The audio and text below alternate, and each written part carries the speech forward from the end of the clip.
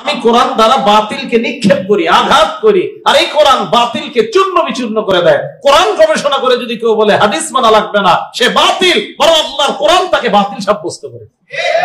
আল্লাহর কোরআন তাকে বাতিল সাব্যস্ত করে। আল্লাহ রসুল মেয়ারাজ থেকে আসলেন, আসার পর নবী বললেন, পঞ্চাশ শক্ত নামাজ আল্লাহ আমাকে দিয়েছেন। এই পঞ্চাশ শক্ত থেকে কমাইতে কমাইতে পাঁচ শক্ত নামাজ। এই যুগে আইসা এক মুরব্বী আল্লাহ নবীর বুখারির এই বর্ণনার উপর প্রশ্ন তুলছে। নামাজ আল্লাহ নাকি ওনার মাথায় ধরে না? এই এখনও বেঁচে আছে দিছে, এটা মিথ্যা কথা বলেন। এটা বর্ণনা, কোন এই যে নামাজ আল্লাহ দিয়েছিলেন, এটা বুখারীর বর্ণনা। তো এই যুগে যে কোনো একজন মুরব্বী বইলা পড়ছে এটা ওনার মাথায় ধরে না। উনি শুধু কোরআন মানে। কি মানে? বলেন। ওই মুরব্বীরে আবার আমি পাল্টা প্রশ্ন করছি। ওনার এক ভক্তরে আমি বলছি, আপনি আপনার মুরব্বীকে বলবেন, এই যুগে ওনার মাথায় ধরে না যে পঞ্চাশক্ত নামাজ আল্লাহ কীভাবে দেয়? একদিনে পঞ্চাশক্ত। তো ওনার ওনার ভক্ত আমার সাথে গাড়িতেই বসা ছিল। আমি বললাম, আপনি পাল্টা প্রশ্ন করবেন। কোরআনে আছে, সাআলা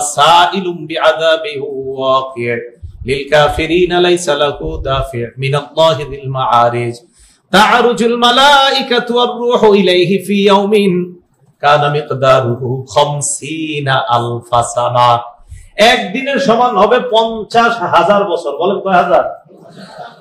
কোরআন গবেষক যারা, এখন যদি ওই ব্যক্তি কোরআন যিনি গবেষণা করে কয় একদিনে পঞ্চাশ উক্ত নামাজ ওনার মাথায় ধরে না, তাহলে একদিন পঞ্চাশ হাজার বছরের সমান এটা মাথায় ধরবে কীভাবে? এটা তো কোরআনে আছে।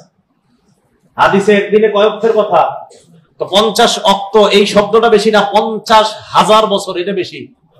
তো কোরআনে পঞ্চাশ হাজার বলছে একদিনকে এটা ওনার মাথায় ধরছে কীভাবে? আমি ওনার ভক্তরে বলছি, আপনার সাহেবকেই প্রশ্ন করেন। তো ওনার ভক্তকে দুই বছর আগে এটা বলছি, গাড়িতে বৈশা। আজও পর্যন্ত ওনার ভক্ত রিপ্লাই দেয় নাই কোনো। উনি হাদিস পড়তে পড়তে ওনার এটা বিশ্বাস হয় না, একদিনে পঞ্চাশ উক্ত নামাজ। বুহারি শরীফের এই হাদিস অস্বীকার করে বসছে। তো উনি তো কোরআন অস্বীকার করে বসবে, যখন আল্লাহ জানে সুরে মাহারিজে আসছে কিনা, যখন উনি গবেষণা করতে করতে মাহারিজে আসবে আর যখন দেখবে একদিন পঞ্চাশ হাজার বছরের সভা তখন তো বুঝলে বসবে। না না, এটা কীভাবে সম্ভব? তার কোরআন অস্বীকার করে বসবে। আপনার কথাটা বুঝছেন? পঞ্চাশ অক্ট বেশি না, পঞ্চাশ হাজার বছর বেশি? এখন উনি হাদিস গবেষণা করে আমার মাথায় ধরে না একদিনে পঞ্চাশ অক্ত নামাজ আল্লাহ দিবেই কেন উম্মককে তো পাল্টা প্রশ্ন করলাম, একদিনের সমান পঞ্চাশ হাজার বছর যে আল্লাহ করাইতে পারে, একদিনে পঞ্চাশ অক্ত নামাজ যদি আমাদেরকে আল্লাহ দিতেন, ওই আল্লাহ পড়াতেও পারতেন। তাহলে শুধু কোরআন না শুধু হাদিস না কোরআন হাদিস দুইটা? যাক, আলহামদুলিল্লাহ। আল্লাহ আমাদের সকলকে আমল করার তৌফিক দান করে তাহলে প্রধান পেয়ে গেলাম কোরআন। বলেন, প্রধান কি? কোরআন। সূরা শুআরা আয়াত নাম্বার 192 193 194 195 আল্লাহ বলেন ওয়া ইন্নাহু লাতানজিলু রাব্বিল আলামিন। কোরআন আল্লাহর পক্ষ থেকে অবতীর্ণ কিতাব নাজালা বিহির রূহুল আমিন। জিবরিল আমিন এই কোরআন নিয়ে এসেছে। আলা কলবিকা লিতাকুনা মিনাল মুনজিরিন। জিবরিল আমিন এই কোরআন নিয়ে আল্লাহ নবীর সিনার মধ্যে রেখে দিয়েছেন, আলা কলবিকা লিতাকুনা মিনাল মুনজিরিন যেন আল্লাহ নবী ভীতি প্রদর্শনকারীদের অন্তর্ভুক্ত হয়ে যায়। বিলিসানিন আরবিয়্যিম মুবিন কোরআন আরবি ভাষায় আল্লাহ নাজিল করলেন। সূরা যুখরুফের 3 নম্বর আয়াতে আল্লাহ বলেন, ইন্না জাআলনাহু কুরআনান আরাবিয়্যান লাআল্লাকুম তাকিলুন আমি এই কোরআন আরবি ভাষায় নাজিল করলাম। কোরআনের ভাষা আরবি করলাম যাতে তোমরা বুঝতে পারো। যাতে তোমরা বুঝতে পারো, তাই কোরআন আরবি ভাষা। এখন এই জায়গায় তো সবাই আরবি বুঝেন না। তাই ওলামায়ে কেরামের কাছ থেকে কোরআন বুঝতে হবে। কোরআনের আশেপাশে, সামনে, পিছনে কোনো বাতিল অনুপ্রবেশ করতে পারে না। বলেন তো, কোরআনের সামনে, পিছনে কোনো বাতিল অনুপ্রবেশ করতে পারে না। সূরায়ে ফুসসিলাত 44 নাম্বার আয়াত, আল্লাহ বলেন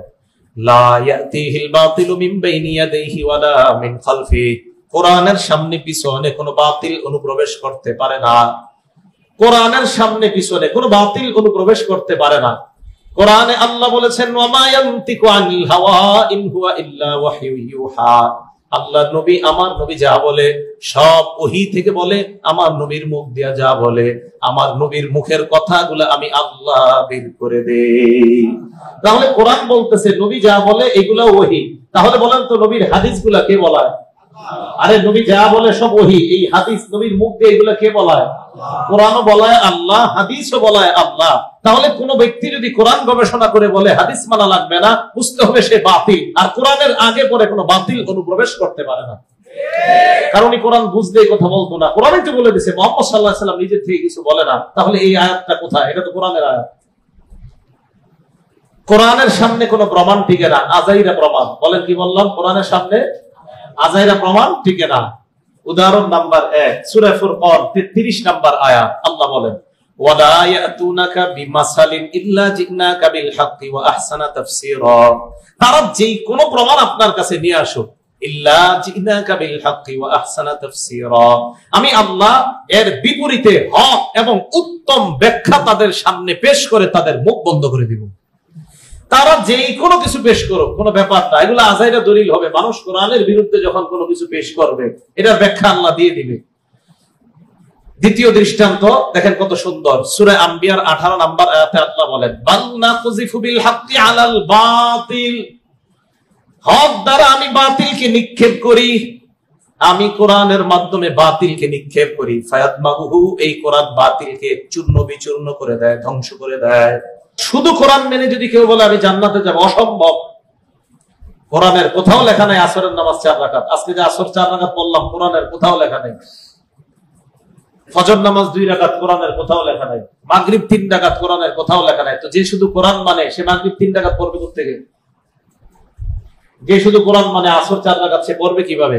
তার মানে যারা দাবি করে যে আমরা শুধু কোরআন মানি, তারা ছলে বলে কৌশলে মুসলমানকে নামাজ থেকে দূরে সরাইতে চায়।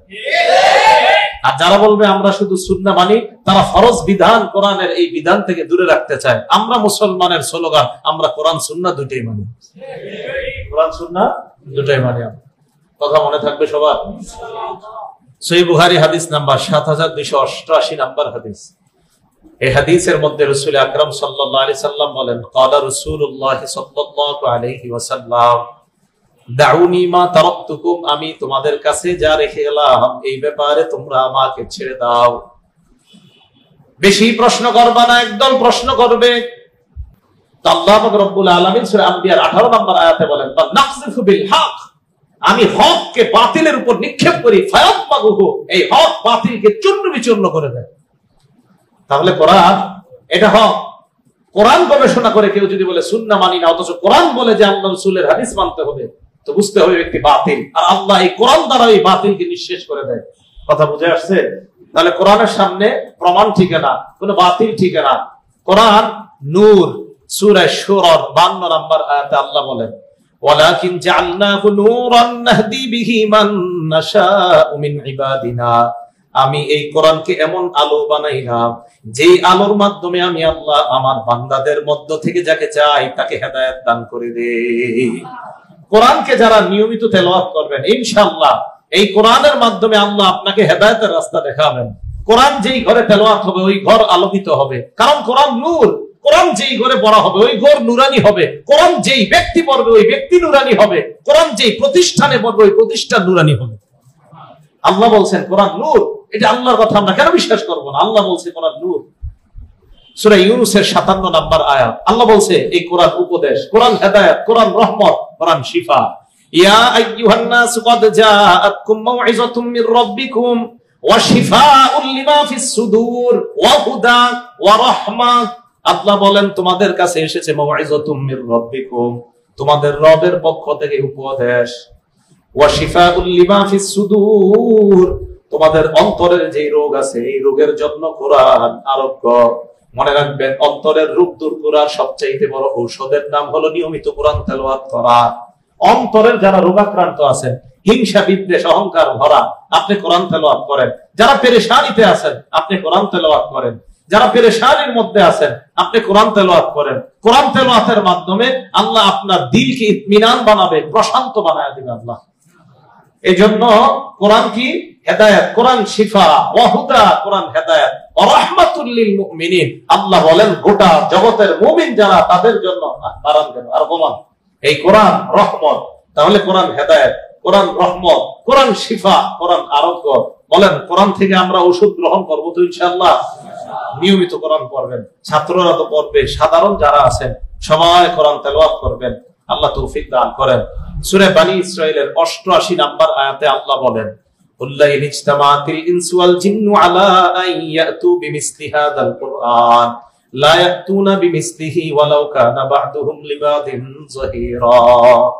আল্লাহ বলেন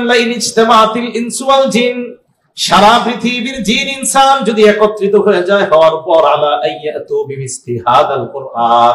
এই কোরআনের মতো বানানোর জন্য যদি পুরা দুনিয়ার জিন, ইনসান একত্রিত হয়ে যায়, হওয়ার পর লাউ কানা বাদুহুম লিবাদিন যাহিরা। একজন আরেকজনকে সাহায্য করবে, প্রত্যেকে প্রত্যেককে সাহায্য করবে কোরআন বানানোর ক্ষেত্রে। আল্লাহ বলেন কোরআন বানাইতে পুরা দুনিয়ার জিন, ইনসান কখনো পারবে না। তাহলে কোরআন জিন, ইনসান সবাই মিলেও বানাইতে পারবে না। আল্লাহ বলে, কোরআন রাখো। আচ্ছা ঠিক আছে, দশটা আয়াত, দশটা সুরা পারলে বানায় দেখাও। মানুষ বলে, নবী নাকি এটা বানিয়েছে? বলেন, যদি তোমরা তোমাদের দাবিতে সত্যবাদী হও, দশটা সুরা বানায়া দেখা দাও। আল্লাহ বলে, দশটা না একটা সুরা বানাও। সূরা বাকারা, আল্লাহ বলেন ইন কুনতুম ফি রাইবিন মিম্মা নাযালনা আলা আবদিনা ফাতু বিসূরাতিন মিন মিসলি। আল্লাহ বলেন, নবী আপনি বলেন, যদি তোমরা সত্যবাদী হও, তাহলে তোমরা এই কোরআনের ব্যাপারে যদি তোমরা সন্দেহের মধ্যে থাকো, কোরআনের ব্যাপারে তোমরা সন্দেহ করলে কোরআনের মতো একটা সূরা বানা দেখাও। আল্লাহ জবাব দিয়ে দিলেন ফাইল্লাম তাফালু, যদি তোমরা বানাইতে না পারো, ওয়ালাম তাফালু কিছুতে বানাইতেও পারবা না। কোরআন বানাইতে যদি না পারো, কোরআন বানাতে পারবে ওরা প্রথমে বললেন পুরা কোরআন, এরপরে বললেন দশটা সুরা, এরপরে বললেন একটা সুরা। আল্লাহ বলে, তোমরা পারবে না, অতএব তোমরা এটা মেনে নাও। এই কোরআন কোন মানুষের বানানো না, এটা আমি আল্লাহ তোমাদেরকে দিয়েছি, অতএব এই কোরআন থেকেই তোমরা তোমাদের সমাধানগুলা গ্রহণ করে নাও। তাহলে কোরআনের মতো মানুষ বানাইতে পারে না। এটা আল্লাহর পক্ষ থেকে অবতীর্ণ কিতাব। এই কথা চূড়ান্ত সত্য। হ্যাঁ কোরআন নাজিল করলেন নাজিল করার পর এই কোরআন বিকৃত করার কোনো সম্ভাবনা নাই। সূরা হিজরের 9 নাম্বার আয়াতে আল্লাহ বলেন, ইন্না নাহনু যিকরা ওয়া ইন্না লাহু লাহাফিজুন। আমি কোরআন নাজিল করলাম, এই কোরআন হেফাজতের দায়িত্ব আমি আল্লাহ নিয়ে নিলাম। কোরআন আমি নাজিল করলাম, কোরআন হেফাজতের দায়িত্ব আমি আল্লাহ নিয়ে নিলাম। নবীজি বলেন, আমার উম্মতের সবাই জান্নাতে যাবে। শুধুমাত্র যারা অস্বীকার করে তারা জান্নাতে যাবে না। প্রশ্ন করা হলো, হুজুর, অস্বীকারী কারা? নবীজি জবাব দিলেন আতাআনি দাখালাল আমার যারা আনুগত্য করে কোরআন, সুন্নাহ যারা মেনে নেয়, তারা জান্নাতে প্রবেশ করবে। ওয়ামান আমার যারা নাফরমানি করে মানে কোরআন, সুন্নাহ মানে না, তারা হলো অস্বীকারীর দল, তারা হলো জাহান্নামী।